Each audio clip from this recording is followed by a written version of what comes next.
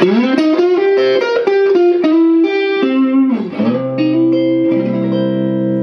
everybody, welcome back to Swift Lessons for a quick lead guitar tip that you can use to sweeten up your blues licks. Now today I'm playing in the key of C. It's a blues progression, so C dominant 7, uh, F dominant 7 or maybe F9, and G dominant 7. So this is a very common context. You've probably gotten used to using your minor pentatonic scale in this context. or your minor blues scale.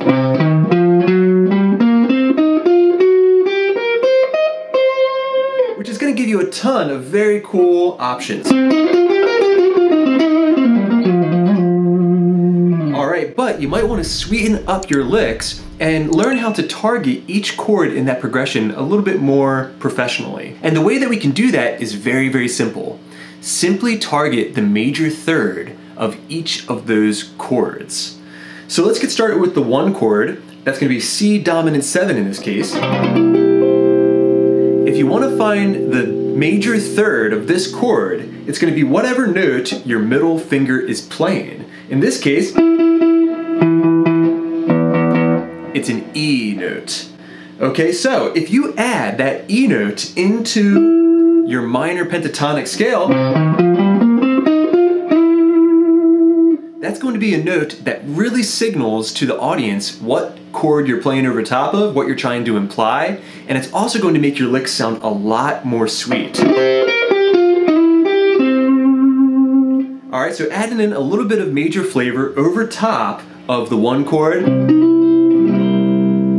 dominant 7, as easy as finding an E note and adding it into your scale. And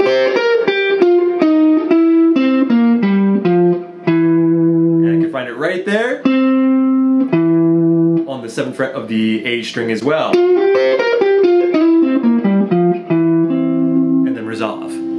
Okay, now let's say we're uh, transitioning to the 4 chord. Alright, that's going to be F7.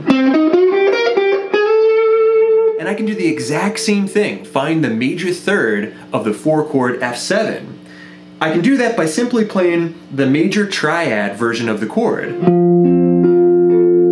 Okay, so an F major chord played with my A bar chord shape. So an A chord transposed up to the key of F. Now the major third of this chord to be right here on the B string, in this case 10th fret. Alright, I can check that with my major scale. Do, re, mi, one, two, three. Find the octave. And right there I have two major thirds that I can add into my licks when playing specifically over the four chord F dominant 7. Okay, so I might play something like this.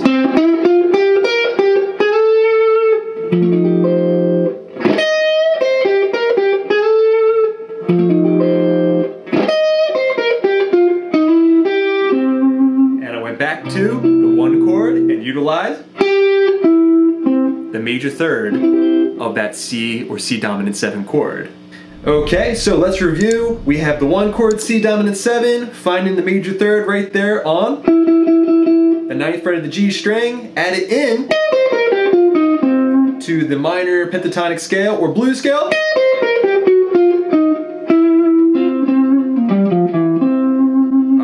Beautiful major flavor. Same thing over the four chord. All right, I can find it right here. On the 10th fret of the B string, add that into my minor pentatonic scale.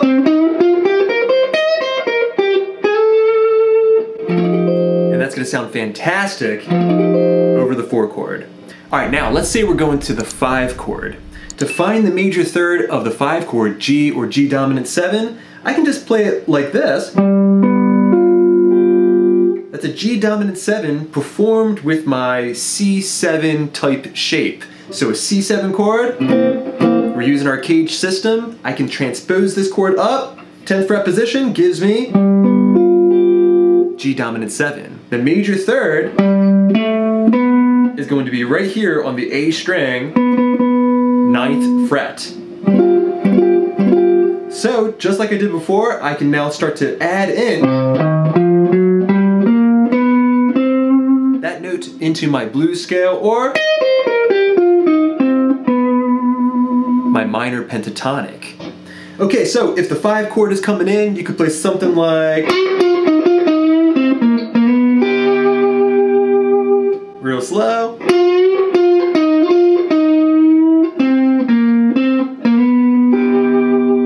And right there I grabbed another note from the harmony, the root note of the five chord, G.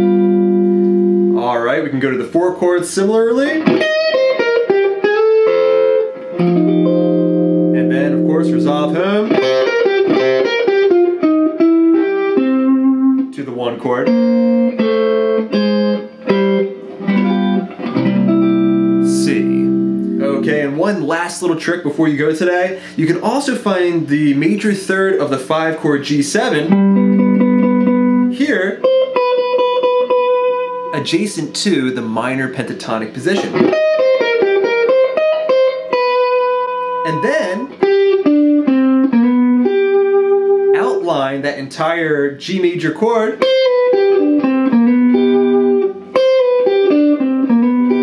using the D shape of the G chord. So, 7, 8, 7, 10, slide the 9, and resolve to the G note as you're playing over top of the G chord. Okay, so.